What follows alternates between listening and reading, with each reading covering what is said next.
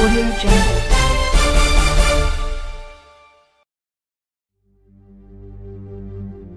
Angelina Jolie's day to the 2018 Golden Globes was none other than Pax Jolie Pitt.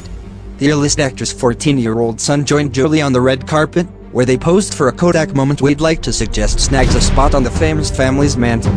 The duo showed their support for the Time's Up movement by dressing in black, Angelina elegant as always in a chiffon gown with a feathered cape, and Pax in a classic tux. Angelina's movie First They Killed My Father is nominated in the Best Foreign Language Film category, and the woman who penned the novel the film was based on, Loung Ung, also joined her on the red carpet. Pax is one of Angelina and Brad Pitt's six children, who are most likely cheering on their sibling from home.